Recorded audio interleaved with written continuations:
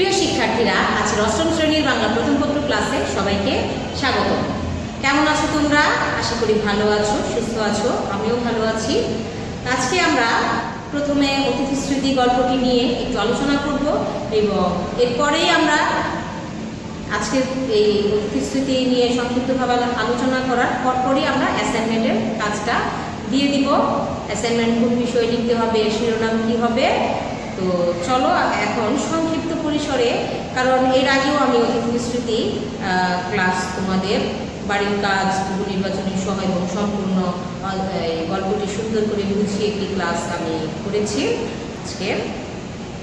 প্রথমে এই গল্পটি নিয়ে সংক্ষিপ্তভাবে আলোচনা করব, এবং এরপরে আমি অ্যাসাইনমেন্টের কাজটি কীভাবে করতে হবে বুঝিয়ে দেব এখানে অতিথি স্মৃতি গল্পে দেখা গেছে যে লেখক দেওঘরে গিয়েছে বায়ু পরিবর্তনের জন্য তার চিকিৎসকের পরামর্শ অনুযায়ী।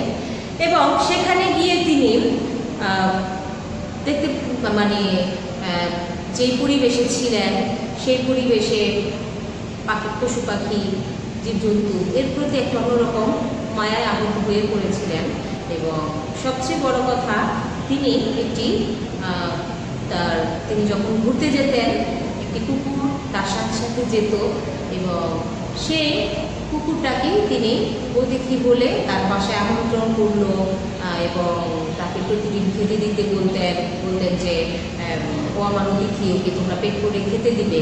তো এভাবেই সেই কুকুরটার প্রতি লেখকের অন্যরকম একটা মমত্ববোধ জেগে জাগলো।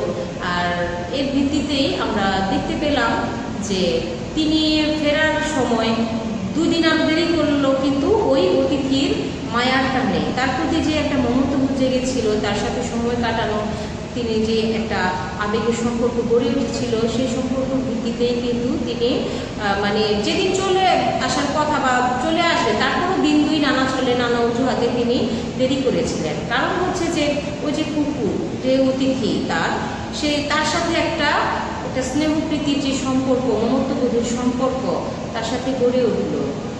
এজন্যই দেরি করল। এবং আমরা দেখতে পেলাম যে কুকুরটিও মানে অতিথি, কুকুরটিও কী করল? লেখকের পিছু পিছে সবসময় ঘুরতো এবং দুই দিন তাকে দেখতে পায়নি বলে যেহেতু তার বাড়ির চাকর বাকররা তাকে তাড়িয়ে দিত, মারধর করতো। তারপরেও দেখল যে যখন দুপুরবেলা সবাই ঘুমিয়ে পড়েছে, তখন সে ওই ফাঁকে একদম লেখকের ঘরের সামনে মানে পৌঁছে গেছে। এবং লেখক তাকে দেখে জিজ্ঞেস করেছিল কিরে কিরে কেমন খেলি মাংসটা কেমন হয়েছে, হাড্ডিগুলো, চিবুতে তোর কেমন লেগেছে? এই যে তাদের মধ্যে একটা ভাবের আদান প্রদান, এই জিনিসটি এখানে ব্যক্ত হয়েছে যে আমাদের শুধু মানুষের সাথে মানুষেরই এই মমতিবোধের সম্পর্ক গড়ে ওঠে না, মানুষের সাথে মানুষের সম্পর্ক সম্পর্ক হয় সেটা স্বাভাবিক। কিন্তু অনেক সময় দেখা যায় যে আমাদের যে কোনো পশু পাখি বা জীবজন্তুর প্রতিও আমাদের এরকম একটা ভালোবাসার সম্পর্ক বা মহত্ববোধের সম্পর্ক গড়ে ওঠে, যেটা সহজে ভোলা যায় না। এবং অনেক সময় এমন পর্যায়ে চলে যায় যে তাদের সেই বিচ্ছেদটাকেও মানে কোনো পক্ষই মেনে নিতে পারে না এবং মেনে নিতে খুবই কষ্ট হয় বা মানসিক যন্ত্রণায় ভোগে, যেটা বলে। তো এই জিনিসটি এই অতিথি স্মৃতি গল্পে উঠে এসেছে যে শুধু মানুষের সাথেই মানুষের মমত্ববোধের সম্পর্ক হবে, তাই না? আমাদের জীবজন্তু এবং পশু পাখির সাথেও মমত্ববোধের সম্পর্ক গড়ে উঠতে পারে। আর সেই কারণে কুকুরটিও তার যেদিন তাকে মানে ট্রেনে করে সে তিনি চলে আসবেন, একদম স্টেশন পর্যন্ত পৌঁছে দিয়েছিল। এটাই হচ্ছে গল্পের মূল ব্যাপারগুলো, যে দুজনের প্রতি দুজনের যেই টান, সেই জিনিসটা এখানে ব্যক্ত হয়েছে। একদিকে দেখা যেত যে কুকুরটিকে মারধর করে চাকররা তাড়িয়ে দিত, তারপরও কুকুরটি লেখকের টানে ছুটে যেত। অথচ তাকে কিন্তু মারধর করে তাড়িয়ে দেওয়া হতো। কেন যেত কুকুরটি? তারপরে লেখকের সন্ধানে ওই যে একটা মমত্ববোধ একটা স্নেহপ্রীতির সম্পর্ক গড়ে উঠেছে, এজন্যই যেত। এবং এজন্যই সে স্টেশন পর্যন্ত লেখককে পৌঁছে দিয়ে গেছে। আর লেখকও ভেবেছেন এক সময় শেষের দিকে আমরা দেখতে পাই, লেখকও বলেছিলেন যে, ওর মতো তুচ্ছজীব হয়তো এই শহরে আর নেই। মানে ওকে ছেড়ে চলে আসছে, অতিথিকে ছেড়ে চলে যাবে, কিন্তু তারপরও অতিথির প্রতি তার মায়া পড়ে রইল এবং লেখক ভাবলেন যে, হয়তো আমি চলে যাব, কিন্তু অতিথি আমাকে খুঁজবে, হয়তো গেটের বাইরে দাঁড়িয়ে থাকবে, দেখবে না। তারপর যখন কয়েকদিন দেখতে না পাবে, হয়তো চাকর বাকর ঘুমাবে যখন দুপুরবেলা, আমার ঘরের মানে ঘরটা খুঁজে দেখবে, কিন্তু আমাকে পাবে না। তো না পাওয়ার পর যে তার মনের অবস্থাটা কেমন হবে, এই জিনিসটাই উপলব্ধি করে লেখক এই কথাটি বলেছে। বলেছেন যে, ওর মতো কিছু জীব শহরে হয়তো আর নেই, এবং এই কথাটি ভেবেই তিনি ব্যথিত হন।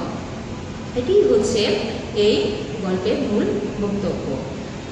তো এখন আমরা আমাদের যে মূল বিষয়, সেটি হচ্ছে অ্যাসাইনমেন্ট আমি এখন দেখিয়ে দিব আমাদের অ্যাসাইনমেন্টের শিরোনাম কি হবে, তারপর কোন বিষয়ে লিখতে হবে, এই সম্পর্কে আমি এখন তোমাদের একটু বুঝিয়ে দেব আমাদের নির্ধারিত অ্যাসাইনমেন্টটি হচ্ছে মনে করো তুমি শিক্ষা সফরে কোনো স্থানে ভ্রমণ করতে গিয়েছো। সেখানে গিয়ে তুমি কোন কোন ধরনের অভিজ্ঞতা অর্জন করলে তার একটি বিবরণ লিপিবদ্ধ করো। মানে তুমি শিক্ষা সফরে গিয়েছো এবং সেইখানে ভ্রমণ করে তুমি কোন কোন ধরনের অভিজ্ঞতা অর্জন করলে সেটা লিপিবদ্ধ করবে এখন এই জিনিসটি তোমরা একটু ভালো করে খাতায় লিখে নাও এটা একটু লিখে নাও, তোমরা বা প্রয়োজনে স্ক্রিনশট দিয়ে তারপর খাতায় লিখে নাও, এইটাই হচ্ছে তোমাদের নির্ধারিত অ্যাসাইনমেন্ট এটি তোমাদের করতে হবে। এটা লিখে রাখো খাতায়। এবার যেমন এখানে আছে, এই জিনিসটির উপরে তোমরা নিজের মতো করে অ্যাসাইনমেন্ট জিনিসটি এমন যে এটা যেন একজনের সাথে আরেকজনের না মিলে। এবং তুমি কাউকে কপি করবে না বা বইয়ের কথাও হুবহু লিখবে না। অ্যাসাইনমেন্ট মানেই হচ্ছে যে তোমার নিজে তুমি কি জানো সেই জিনিসটাকে তোমার বের করে নিয়ে আসা। তোমার মনের কথাগুলো এখানে সুন্দর করে উপস্থাপন করবে।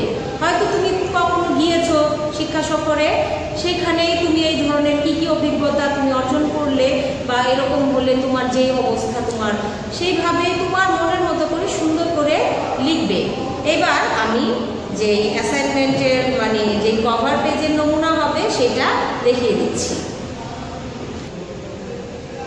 আমাদের অ্যাসাইনমেন্টের যে কভার পেজ মানে উপরের উপরের কভার পেজের নমুনাটি এইভাবে হবে প্রথমে লিখবে অ্যাসাইনমেন্টের শিরোনাম মানে এই যেটা আমি লিখে দিলাম এই বিষয়টির উপরেই তুমি সুন্দর করে একটি শিরোনাম এখানে লিখবে এরপরে লিখবে বিদ্যালয়ের নাম পাশে তারিখ ছাত্রছাত্রীর নাম তুমি তোমার নাম লিখবে বিষয় তোমার বিষয়ের নাম লিখবে এবং শ্রেণি শাখা তুমি কোন শাখা সেটা এবং রোল, এখানে রোল লিখবে। আর বিষয়ের এখানে তুমি লিখবে বাংলা। শ্রেণি, শাখা এবং রোল। এভাবেই তোমরা লিখে নাও বা স্ক্রিনশট দিয়ে নাও। এভাবেই তোমরা উপরের কভার পেজটি লিখে নেবে। আর অ্যাসাইনমেন্টটি তোমরা এ ফোর সাইজ কাগজে করবে।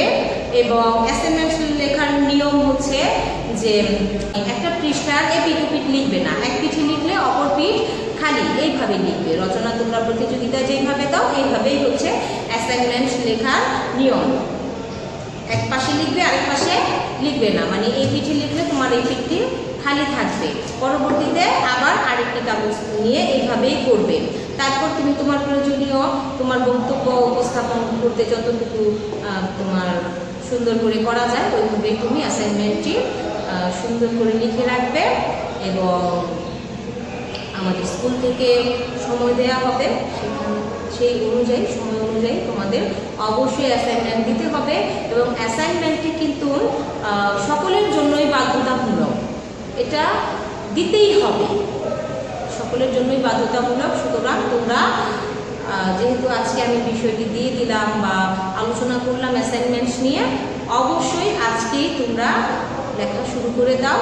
নইলে দেখা যাবে যে অ্যাসাইনমেন্ট অনেক সাবজেক্ট অনেক সপ্তাহ অনুযায়ী অনেকগুলো হয়ে যাবে, সুন্দর করে পারবে না জমে যাবে অনেকগুলো। আজকেই তোমরা লেখা শুরু করতাম তো এরপরেও যদি তোমাদের কোনো সমস্যা হয়, আমরা আছি, আমাদের সাথে যোগাযোগ করবে। আজকে আমি এখানে ক্লাস শেষ করছি। পরবর্তী ক্লাসে আবার দেখা হবে